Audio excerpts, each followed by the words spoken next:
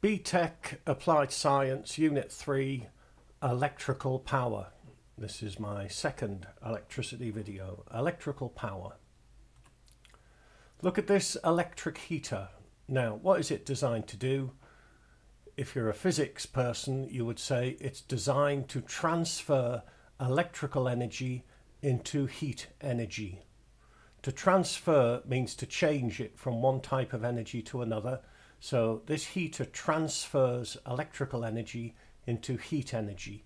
And we say that the electric heater is doing work. Work is done when energy is transferred. And in this case, electrical energy is being transferred into heat. Here are some other devices, and they are all designed to transfer electrical energy as well. Uh, and they're all doing work. So the bulb is designed to transfer electrical energy into light energy, although we will also get a lot of heat because they're not very efficient.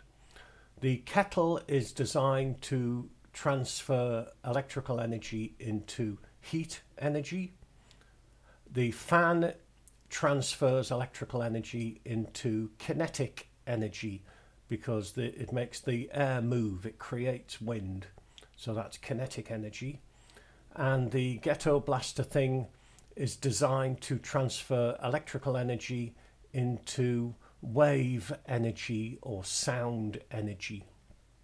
So they all do work, they all transfer electrical energy into another form of energy. The power of a device is how much energy it transfers every second.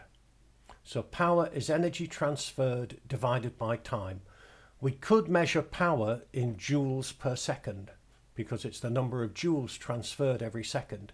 But it has its own units and it's watts, capital W, watts. Uh, power is the rate at which energy is transferred. How much energy is transferred per second. Uh, at the bottom here we've got three electrical heaters and if you look at the power of each one, the, the little one that you might take camping with you, 200 watts. The kettle in your kitchen, 3 kilowatts, 3000 watts. And the big immersion heater, 6 kilowatts. 6000 joules per second is being transferred. Calculating power, so we need to use this equation here uh, power is energy over time. You'll be given it in the exam, but there's a little triangle for now. This kettle transfers 540 kilojoules of electrical energy in three minutes. Calculate its power.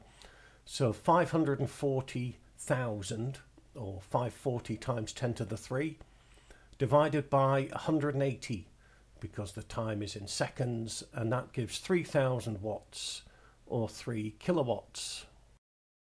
I will do another video practicing these sums. Here's another one. This fan has a power of 200 watts. How much electrical energy will it transfer in 30 minutes? Uh, so energy transferred is power times time. So 200 times 30 times 60 and you get 360 kilojoules of energy transferred. Okay, you can also say power times time, uh, and the power is in kilowatts and the time is in hours, and that would give you kilowatt hours. This is what we use for working out your electricity bill. Uh, you will get a bill per kilowatt hour. For every kilowatt hour of energy you use, it'll be, I don't know, 10 pence. So uh, the units of energy, you can have kilowatt hours, kilowatts times hours. These are all the electrical quantities that we need to know. Uh, I covered three of these. Well, resistance should be on there as well, actually. Voltage V, volts V, current I, amps A, energy E, joules J, power P, watts W, time T, seconds S. There's another equation that we're going to look at in a bit for working out power. Power is voltage times current. If you know the voltage across a device and if it's plugged into the mains, then that was would be 230 volts. And then you know the current, you can work out the power. Or if you know the power and the voltage, you can work out the current. Now, why would you need to work out the current? Well, when a current flows through a thin wire, it gets hot. Okay, when a current flows through any metal, uh, it becomes hot, but a thin wire gets very hot. Uh, electrical energy is transferred into heat energy. In light bulbs, they use tungsten because it has a very, very high melting point. Okay, uh, other metals would melt if they got too hot. And that's important because there's a thing called a fuse. Now, a fuse is just a very thin piece of wire and it's designed to melt when the current is too big. A 3 amp fuse should melt if the current going through it is 3 amps. Uh, a 13 amp fuse should melt if the current is above 13 amps. Now, what does a fuse do? Well, basically, if the current in the circuit is too big, then the little wire inside the fuse melts and it breaks the circuit. And by doing that, what you're doing is you're protecting the device, the television or whatever, uh, and also it's to stop fires as well. If the current was too big, then the television might catch fire and burn down the house. Okay, uh, a fuse will break the circuit and hopefully prevent this from happening. Fuses don't protect people.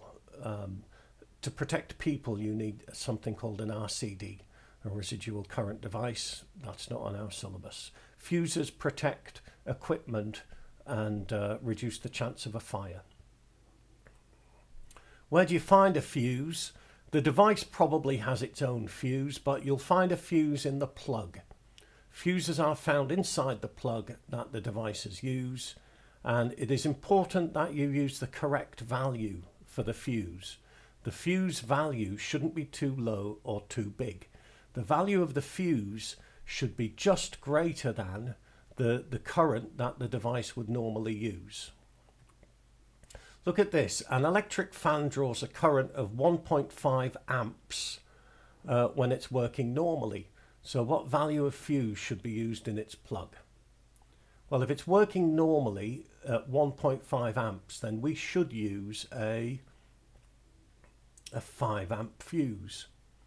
If we put a 1 amp fuse in the plug, then every time we plugged in the fan, the fuse would blow, even if there was nothing wrong. If we put a 10 amp fuse in, then there might be a problem. There might be some, you know, the thing could be on fire, but the fuse doesn't blow. So we want the value of the fuse, which is just greater than the current that would normally be used. And we'd use the P equals VI equation to work that out. An electric kettle has a power of 3 kilowatts. It's plugged into the 230 volt main supply uh, what value fuse should be used in its plug. So what we're going to do now is we're going to work out the current. So using the equation, the current is the power divided by the voltage. And so the current that the kettle would normally use is 13 amps. So we should use a 15 amp fuse in the kettle.